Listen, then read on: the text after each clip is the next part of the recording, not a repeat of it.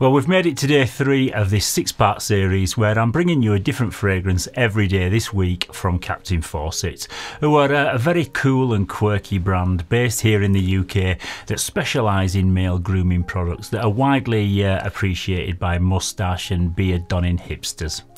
Today's scent goes by the name of Triumphant and it was created in col- uh, collaboration with British actor and comedian Rufus Hound, who claims the fragrance was inspired by the uh, stimulation of his olfactory senses whilst whizzing round the green and pleasant English countryside on his motorcycle wearing an open faced helmet. So, to find out all about this one and whether it's any good or not, stay tuned to this episode of Mags Frags.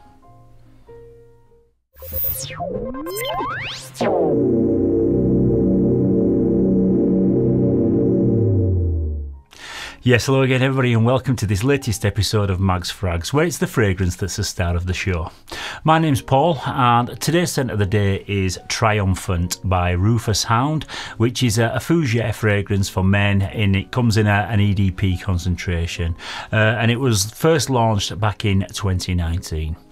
It comes in a, a 50ml bottle size priced at £68, but they also produce other products with the same scent DNA, including moustache wax, beard balm, and beard oil, which there's currently 20% off the entire range at the moment. So now might be uh, a pretty good time to pick up a bottle if you uh, think it sounds pretty good and uh, one that you might enjoy this springtime.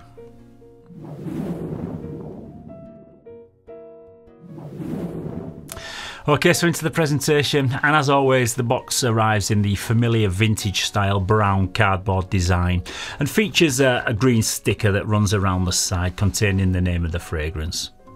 There's also the name printed on the front, as well as the Captain Fawcett logo, as well as the size and concentration.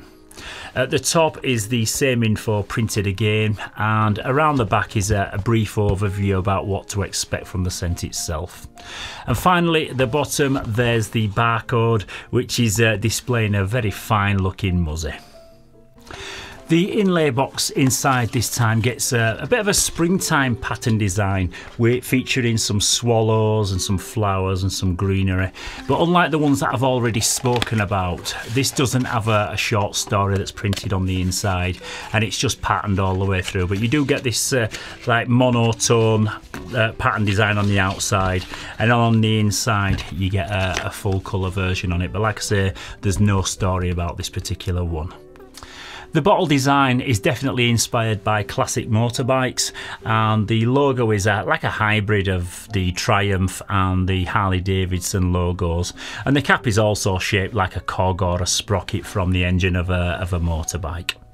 It's in a lovely translucent British racing green colour and I think it looks pretty cool. But what do you think? Let me know down in the comments. The cap is a, slide on cap and like the others that I've already mentioned doesn't click into place that firmly uh, but it does fit a little bit more securely than the others that I've tested but still never tried to handle it by the cap otherwise you'll definitely end up with a, a triumphant smelling floor. The atomizers uh, in these uh, have all been pretty decent quality and again I think the presentation overall on this one is uh, pretty decent.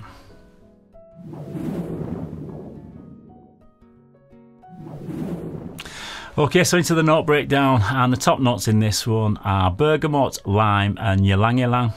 In the heart, we've got blackcurrant, clove, and galbanum. And the base notes in this one are sandalwood, ambergris, and musk.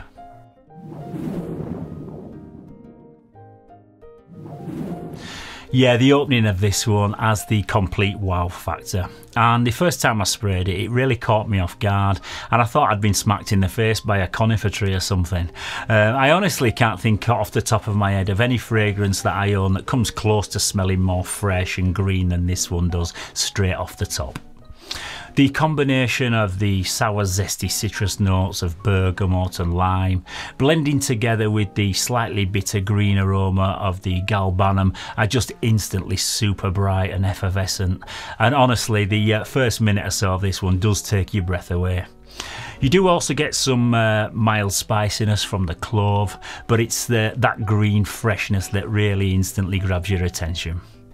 As it dries down, that super zesty introduction does die down a little bit, and then the ylang ylang and the blackcurrant start to come through and bring with them a, a, tiny bit of fruity floral sweetness, which does soften it a bit and just rounds off all the edges. Uh, but for the most part, this is a super bright, clean green fougere uh, with a with a really nice kind of um, straight out of the shower soapiness, but also a touch of bitterness, which keeps it smelling really cool, crisp, and kind of outdoorsy. But later on, when all the big hitting uh, notes start to fade away after maybe a couple of hours or so, you're left with more of a soft, musky base with a, a bit of saltiness from the ambergris and some uh, mild, silky sandalwood.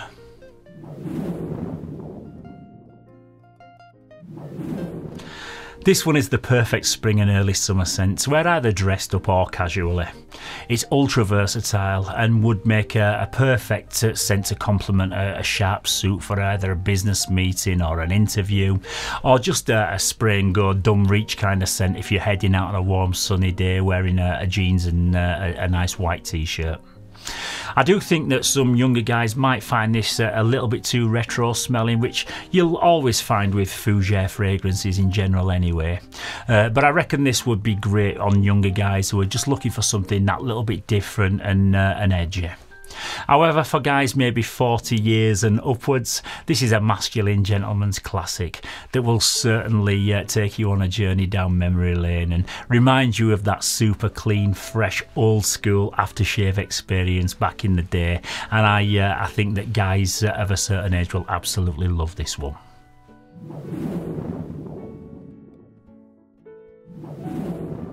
Yet, in terms of its performance, you'll get a, an hour of massive projection, followed by an hour of decent projection, and then on me, it seems to appear to fade fairly quickly.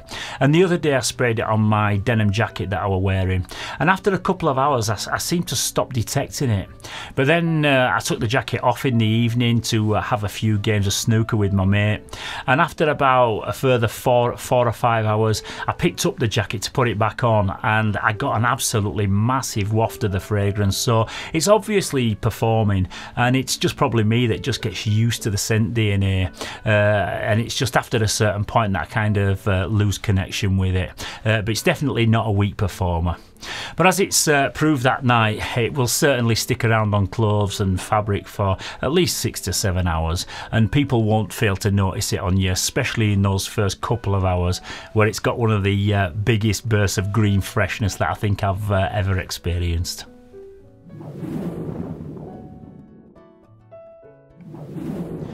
This one is a reimagined take on the classic gentleman's green barbershop fougere, which does produce a traditional retro kind of aroma, but it's certainly not old fashioned. And in my opinion, it has uh, got its own unique identity. And I don't really have anything in my collection uh, that it instantly reminds me of, so definitely not a, a generic smelling scent.